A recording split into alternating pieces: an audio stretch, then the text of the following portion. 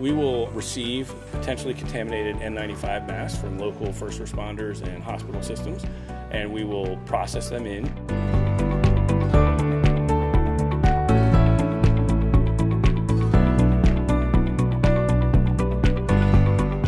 First loading the chambers, clearly we want to protect our operators from potential contamination. The four containers that are on this side of the site are, they hold our protective equipment. This is uh, double hooded and uh, prevents any contaminant from getting on their face or in their eyes. Or So this is um, the top part, they're wearing double gloves, they're wearing Tyvek coats and, and, uh, and rubber boots.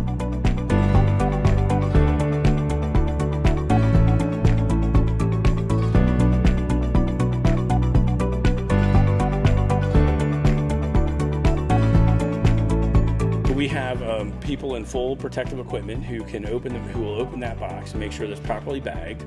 Um, it's double bagged, so that then we can hand those bag that bag of masks into the chamber.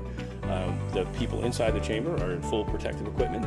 They will then load the chamber in the shelves there with the masks that are acceptable. It will go through a, a vaporized hydrogen peroxide uh, cycle. It's a three-dimensional um, decontamination process. So the vapor goes into the mask and then generally about 10 hours of aeration where we're pulling fresh air, filtered HEPA, uh, through HEPA filters, fresh air through the chamber for about 10 hours potentially to make sure that then all the hydrogen peroxide is removed from the mask.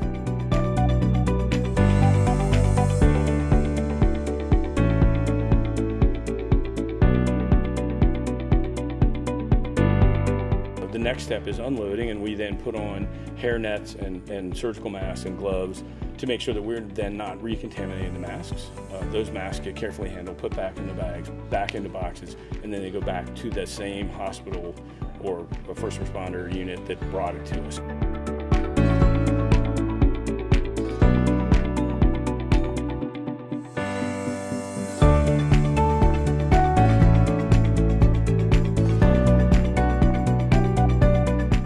Authorized to clean the mask up to 20 times. So we will tag on each mask, we'll write how many times it's been cleaned in our facilities. Hospitals and first responders organizations can sign up through the Battelle webpage. Once they do that, they'll be issued a three-letter site code.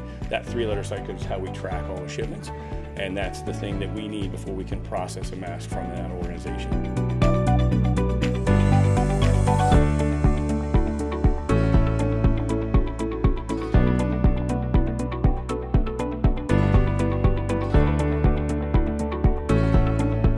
I think it's, uh, it's especially important in the recent uh, times where we had so many cases of potential COVID where uh, hospitals are going through so many N95 masks every day. We're very happy that we are able to provide them back to them after that one use, but we want to make sure they're 100% clean when we do that.